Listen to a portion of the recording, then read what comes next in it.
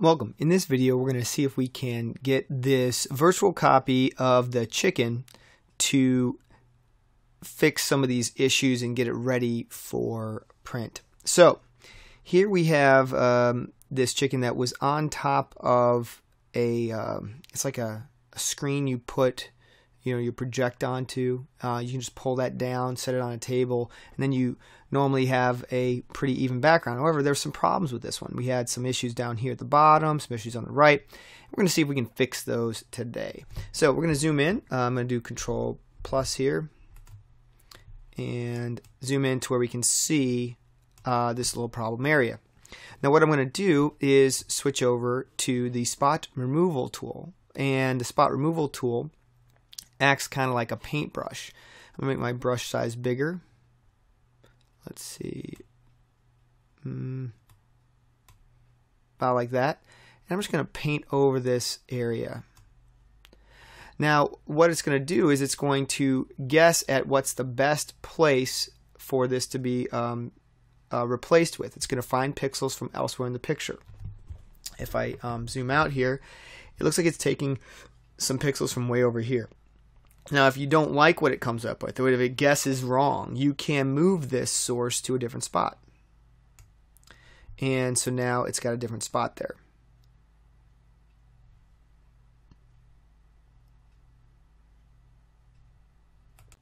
And so now it's being uh, replaced with uh, some pixels from over here on underneath and on the left. Now I like that. Uh, next we'd want to um, work through some other areas. We might find another place that we have to clone later uh, to fix, but we're just going to move forward here. And we can adjust the white balance. We can change it to auto, see what that does. So that warms it up a little bit, yeah. And then we can work down into our tone and we'll try auto on it. And that makes a big difference, okay? Brightens up a lot of it. And uh, let's go ahead and check out what the uh, clarity is looking right. So let's see here. I'm going to get off this tool and I'm going to move up here and zoom in. And let's see how we doing here. Maybe increase the clarity a little bit. There we go. All right. And I think he looks pretty good. And what we're going to do now is see if we can zoom out. I'm going to do a control minus here to zoom out.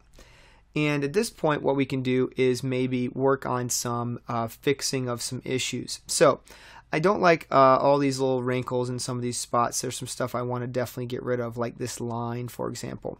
So I'm going to go ahead and go back to the spot removal brush, and I'm going to make my brush be a little smaller here. And I'm going to see if I can work right along this line and I'm going to have it pick from up here to see if I can get rid of some of those issues. I'm going to do another one over here. I'm going to paint right here and I want it to just get from just above here so it'll fix that one. Now let's take a look. Uh, we can hit the um, backslash key that's above my enter key on my keyboard and see the original all right, so I'm liking that. And let's go ahead and um, just kind of move around the picture and see if there's any other issues that are standing out as some type of a problem. Let's see here. Got a little spot there. I'll tap that one. All right, and it looks like some little line work over here that needs to be adjusted. And we'll take that from further out, maybe up here. And good. Now, what I might do at this point is um, zoom out, uh, and what I want to do is maybe do some adjustments to fix some of these wrinkles that are in here. So what I want to do is use the um, adjustment brush, which will paint um, into a particular area. Now, what I'm going to do is uh, I'm going to show you how this works. I'm going to turn up the exposure a lot here and I'm just going to try and uh, check for one more thing. I want to make sure that my auto mask is on.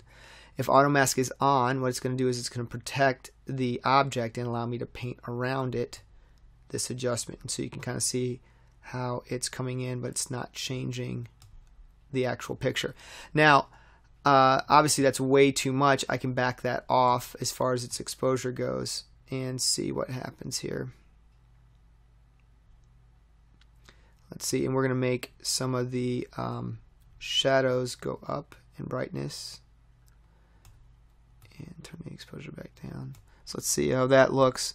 Um, and you can also then add another one. If you'd like to add another point, you can click New, and we can create another point here. And in this point, I'm going to paint some more here and see if I can yeah get that to just kind of go away. Um, we can also work it uh, up higher here if we wanted to. Um, let's see what happens when we back that off. Let's see. Something like that.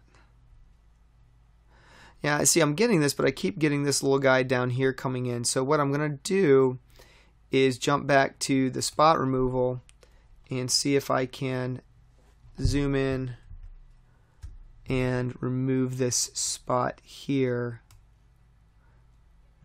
with a spot elsewhere. All right. I think that's going to work for that. Let's go ahead and get another spot over here and we'll have that removed from over here and we will feather that more right and let's paint this one and we'll go ahead and move that one up and over too and we'll have that be feathered as well. Alright let's take a look at